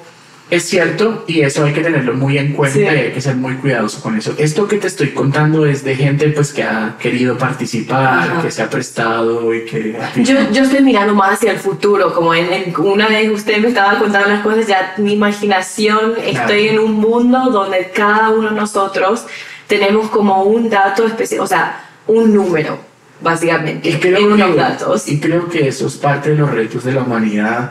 Tiene mucho que ver con cosas que uno suele hablar como en reuniones ahí con los amigos y es, uno sabe que toda esta información está allí, ¿no? Sí, Eh, eh, uno se sorprende de, de la capacidad de predicción que tiene el algoritmo de Google frente a uno, una cosa que no he hablado ahí con los amigos, que no, que Sí. quiero irme de viaje no sé dónde y el algoritmo ya te lo pone y tal. Es decir, no es futuro, es, es algo que ya está. ya está. Es que, el o sea, poner toda esa información en conjunto, creo que todavía no se puede de Claro, manera... todavía hay como que hacer algunos pasos, pero yo creo que estamos a Ya días, a horas, ya estamos Sí, sí, sí. viviendo esto. Y una forma que uno podría tener ante la amenaza, ahí me voy a poner un poco social, político, ante la amenaza, en las amenazas imaginadas, es enfrentarlas y, y asumir una posición política de defensa, ¿no? Eh, esto ya está pasando y de alguna manera vale la pena generar movimientos colectivos sociales que pongan el énfasis en qué tanta esa información queremos compartir o qué tanta información no. Eh, entonces, básicamente, la psiquiatría computacional podría, más que generar como un, órgano más de control, eh, un órgano orwelliano de control, digamos, sería como la opción de usar algunos recursos que las personas están, digamos, en acuerdo de, compartir para ayudar un poco a tener más información robusta, personal, sobre lo que una persona está viviendo en una enfermedad mental y opciones de tratamiento. Claro, claro. Bueno, es súper increíble y siempre, obviamente, como le había dicho, cuando hablo con neurocientíficos que están ahí al borde de un conocimiento, es como impresionante y muy inspirador, porque no puedo creer que tengo la oportunidad de hablar con las mismas personas que saben mucho de esta parte de la humanidad, así que lo aprecio mucho. Bueno, pero para concluir la entrevista, Quisiera preguntar si tiene algún consejo para los jóvenes hispanos que estén mirando este podcast, eh, pensando también cómo ellos pueden aportar a la neurociencia y, o ingresar a la carrera. Eh, puede ser un consejo sobre la neurociencia o también de vida. Bueno, yo gracias por darme la oportunidad de estar en tu programa, Jessica, pero también de dar esta, este mensaje final. Yo lo, lo que diría es eh, que mantengan al máximo y que hagan lo que sea necesario para mantener la motivación, para preguntarse cosas, para estar indagando cosas. Hay muchas cosas de las vivencias de lo humano que uno da por sentadas. El hecho de tener enfrente un celular, yo creo que casi nadie lo piensa ya. Pero hace unos años era muy extraño tener un celular que reaccionara a mi huella o que de alguna manera me estuviera notificando de lo que pasa día a día tener un espíritu de pregunta continuo, que además es parte de las características humanas, es algo que ayuda a la gente que le interesa hacer investigación, tener un sentido continuo de las preguntas. Yo creo que las neurociencias eh, tienen la fortuna de ser todavía una disciplina muy flexible y muy abierta a metodologías y a preguntas que son de importancia para los humanos eh, evidentemente hay gente que trabaja en neurociencias moleculares, que sus hallazgos son absolutamente relevantes para cambiarle la vida a las personas. Ahí están los ejemplos de las vacunas, los ejemplos de, de algunas opciones terapéuticas en enfermedades genéticas moleculares. Pero también la neurociencia, y un poco es mi experiencia, la pongo aquí en tu programa, Jessica, es que también a través de la neurociencia uno puede hacerse preguntas sobre el mundo complejo, social y político que vivimos. Y eso la neurociencia lo permite, es flexible y es mejor en la medida en que logres hacer dialogar distintas disciplinas. Entonces mi consejo sería, estén muy abiertos a preguntar y muy, digamos, eh, abiertos a, a generar esos diálogos. Sí. Lo increíble del cerebro es el único órgano que se puede preguntar sobre sí mismo. También. bueno, muchísimas gracias, doctor, por, por, hacer el tiempo de, de, conversar conmigo y contarme sobre todas sus investigaciones. Creo que va a ser muy útil para los oyentes. Y de nuevo voy a, o sea, espero pasar muy, pero muy bien en Colombia, en Bogotá. Eso. y de nuevo, muchas gracias. Muchas gracias a ti, muchas gracias a todos, a todas.